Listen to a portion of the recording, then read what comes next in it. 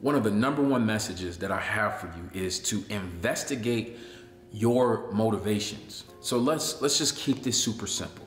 All right. I just left the gym. I just had a great workout this morning. So let's just say your motivation is, you know, I want to get back strong or I want to I want to get in shape or uh, you know, I want to lose weight. Whatever the motivation is, first of all, you can do it.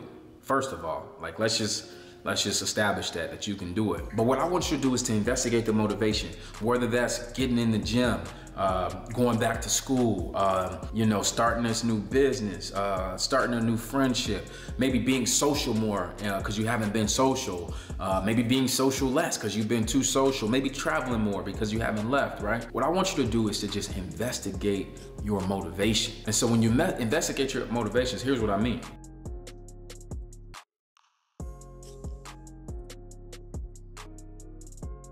Are your motivations coming from lack and fear and hate and disgust and shame? Or are your motivations coming from love, peace of mind, joy, inspiration, harmony, now, if you go back and watch this video and you listen to how I said the, the, emotions, I said them how they feel. And you heard them how they feel. And your body received them how they feel. So we have to think about that for a second. Okay, if we can watch a random person on the internet talk about certain emotions, and those certain emotions, as soon as I hear them, can trigger a response in my body, wherever you are, what is that? That's vibration. That's the energetic vibration of the emotions. So if you think about it and you're making a goal out of the root of one of those emotions, your whole body is responding to that emotion. I'm making all of my decisions out of fear. Well, I'm moving out of fear now. My anxiety is going to trigger when fear when fear is is happening. My perception of what's actually happening is based on fear. I'm not telling you I'm not telling you something's wrong with you. I'm just telling you to investigate. But what happens if I'm making my decisions and my motivations based on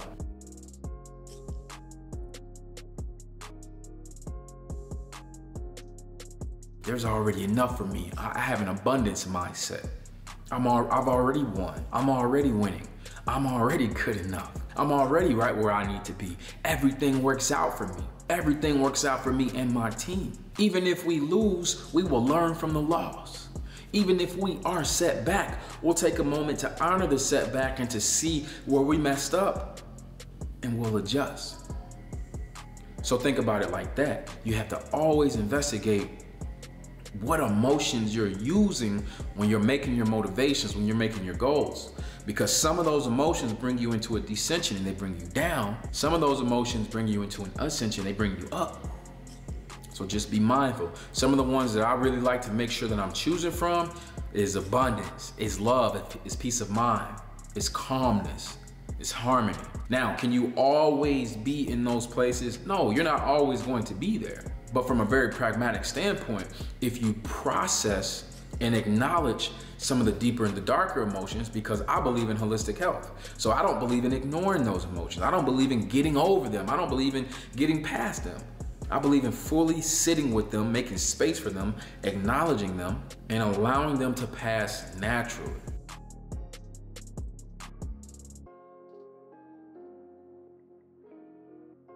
You know? So if you're in a space of fear, it's okay to be in a space of fear.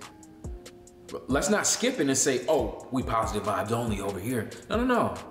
I'm in a place of fear. Now go deeper. Why? Why am I in a place of fear? What's causing me to be in a place of fear? Do I have to be in a place of fear? Hmm. Do I have to be in a place of fear all day? Could I suspend it for, for an hour? Is that possible? Is that available to me? Hmm. Have I only kept this fear to myself? What if I shared this fear with some of the other people in my network and in my community? Well, what, what are, do they have the same fears? Hmm. Okay, and you can do that for each one of the little emotions. Instead of just allowing it to grab you, no, no, hold on.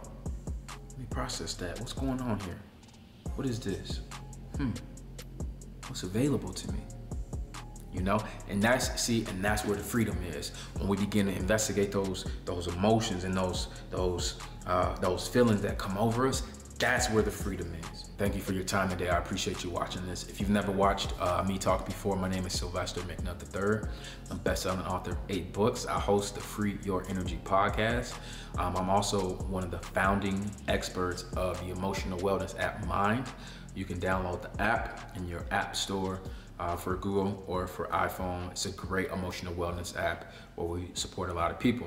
Uh, with that being said, if you want to dive into my books, you can visit sylvestermcnutt.net and or Amazon. Uh, and with that being said, I'm so grateful for your time, and I hope you continue to free your energy.